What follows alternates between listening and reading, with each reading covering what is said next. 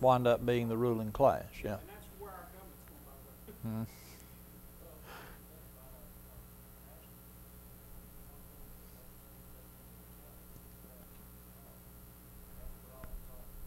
That's right.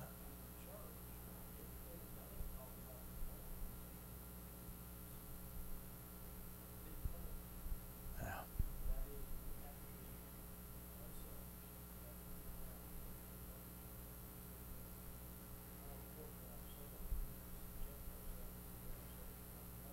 Mm-hmm.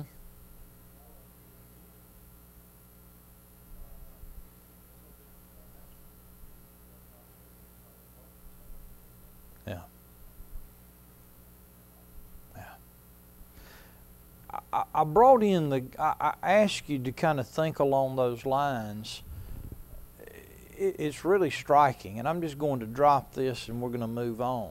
But whenever you, whenever you realize that the very framers of that document, uh, you know, the Cambridge Flat Platform, were very strongly influenced by the the forms of civil and ecclesiastical government that Calvin had established in Geneva.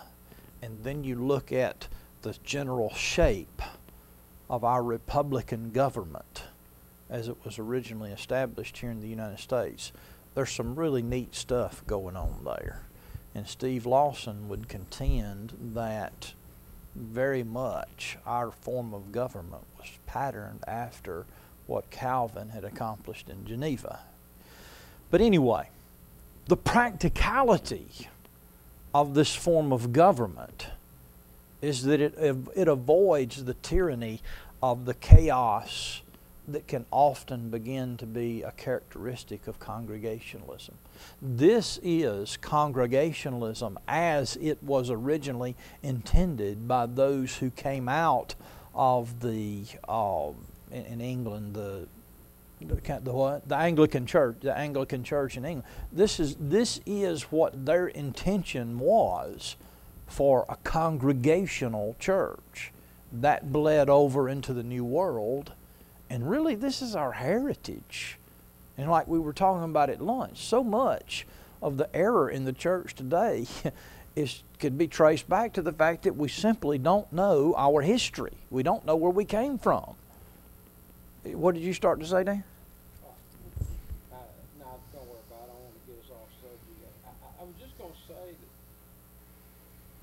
God has designed it that even when He has put power in the hands of the church or of the minister, there are still balances there. I, I, just was thinking, uh, because I had just done a little exegetical work on the Matthew 18 passage Yeah, yeah, that even though ultimately it is the church that that makes those determinations concerning the erring brother or, or the, the the one who is left,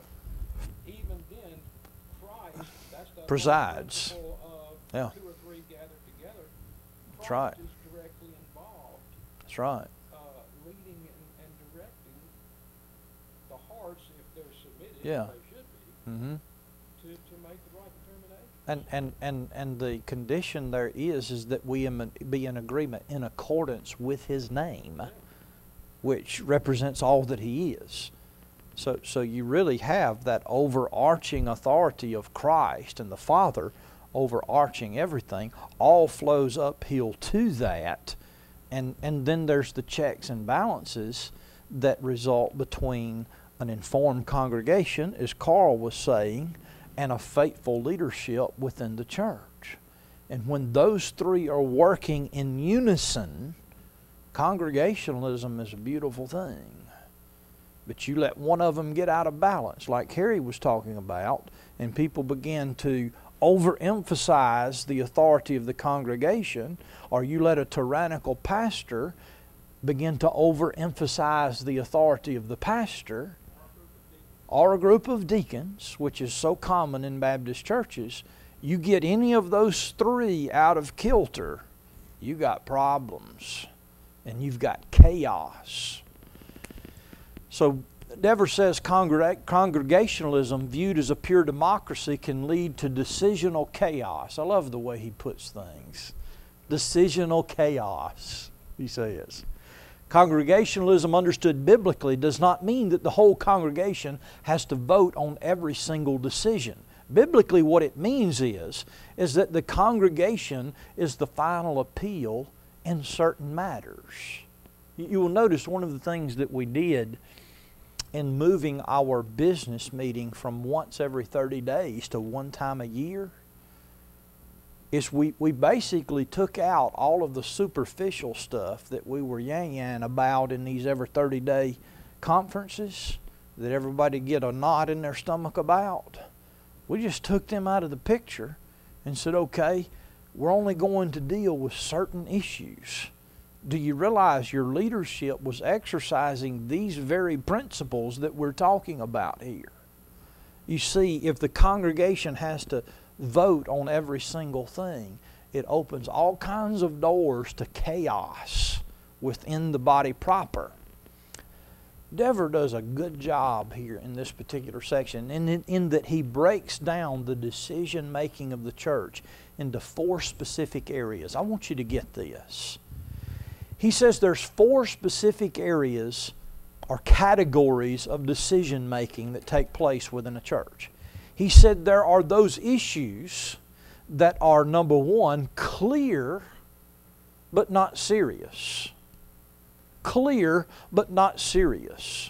These are usually the decisions uh, where there's really not any need for discussion. It's clear what needs to be done and you just do it. You know, an example of this would be should we maintain the appearance of our building? Okay?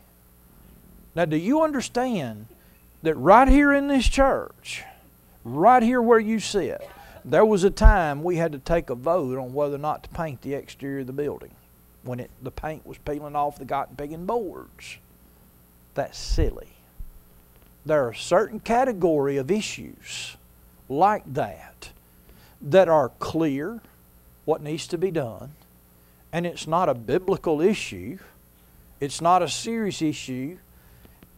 Dadgummit, just do it. Okay? There's a whole category. He said there's a second tier of issues that are both serious and clear.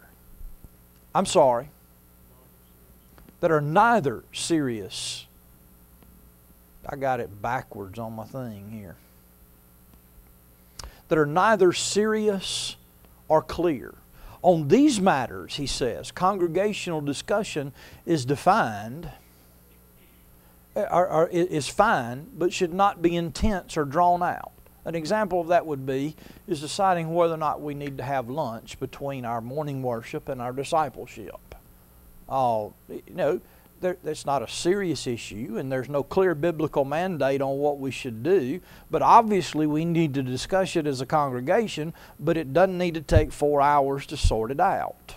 That's one category. That's another category. Go ahead. Could we possibly ask at this point, is that where the color of the carpet would come into play? That's actually the very example that he used. he used the carpet thing, but I'm so sore about that right now, I don't want to deal with it. That was a huge issue. Then there is that category of issues that are both serious and clear, he says. On these matters, he said there should be decisional unity among the leadership and the congregation. An example of that would be should we discipline a seriously erring member? Well, obviously, that's a very serious issue. It's also an issue on which the Word of God is very clear.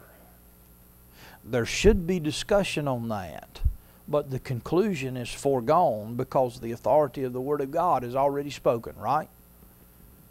And we should do it with sorrow and after having pursued the restoration of that person, but in the end, it's serious, but it's very clear what we have to do. He says on those issues, there needs to the the church needs, as Dan preached this this morning, we need to have the unity that is single-minded. We need to be of one mind. We need to speak the same words. We need to breathe the same air. We need to come to the same conclusions because the Word of God.